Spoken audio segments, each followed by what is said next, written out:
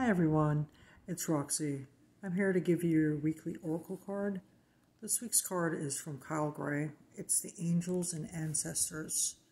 It says High Priestess. Harness your mystic power. Align with the light and focus on all things positive.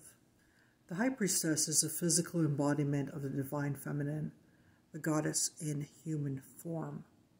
She has had many names through time and space but her essence has remained similar fierce, powerful, and disciplined.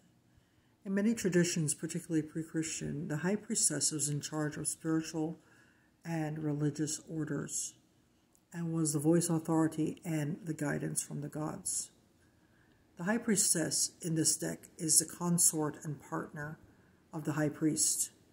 If you look at them together, you will see that they mirror each other's energy. She's joined by a black cat representing the Egyptian goddess Bast, who protects her from lower energies, and she stands strong in her glory and her power. You are a mystic with the capacity to connect with energies that go beyond human senses. Within, within you is a force of magic that is directed by your will. There is an opportunity for you to rise up at this time, but it requires dedication and discipline. You're being guided to look at what you're working on or the situation before you and determine where your priorities lie.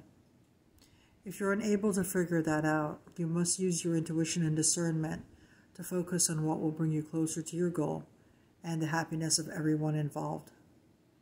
When this card arrives, it's also important for you to check in with your intuition as it will give you guidance that will be important for your growth. I hope you guys have a great week. I hope you like that card. Please be safe and take care. And I'll see you next time. Bye.